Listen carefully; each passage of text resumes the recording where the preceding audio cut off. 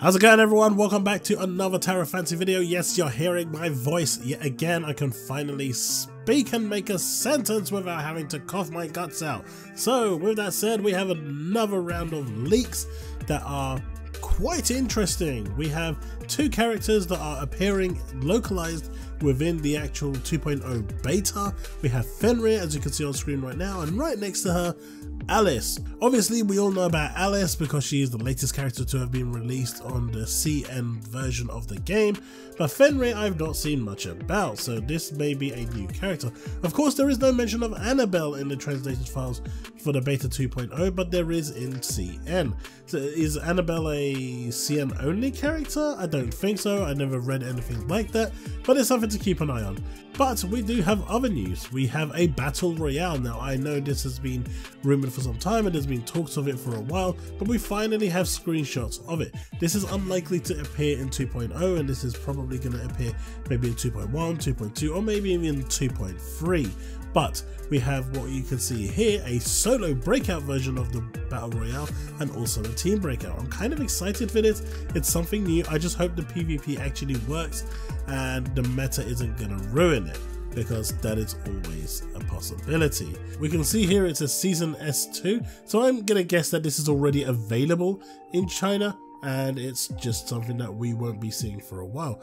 Now as you can see here for the basic rules for the Battle Royale, up to 48 players per game, only 8 random weapons and 8 relics will be made available each game. There will be an irradiated wall that basically expands over time as your usual stuff, last man standing wins. So it's not a 99 player thing, but it is a 48 player thing, and I guess maybe if you're playing in duos and groups, that's going to go higher. And the reward is a staggering 800 crystal. Now, I'm not sure if this is for every win. If it is, cheating is going to go through the roof. I can bet your bottom dollar on that. But if it is a one-off weekly reward, then at least it gives people a better chance of winning this reward because most people that have completed it once won't jump back in because there's no reward. We also have what looks like a mobile view for a weapons gallery. It has also the relics as well in the top right hand corner as you can see over there. It has the skills and you can switch between the skill and the passive. You've got normal, dodge, skill discharge. It just looks like a much easier in your face layout of what each weapon can do in terms of their base stats. Now this obviously does look mobile but it could be what we're going to get on desktop. Either way I think it's a nice addition to the game.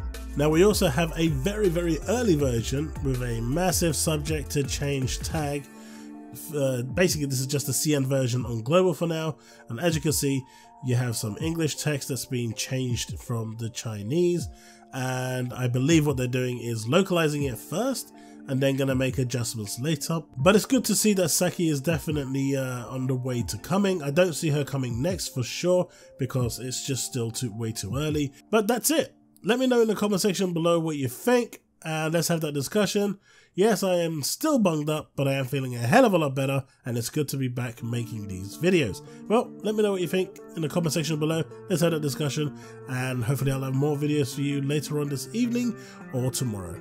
Right, as always, stay safe and remain legend. God, it feels good to say that again.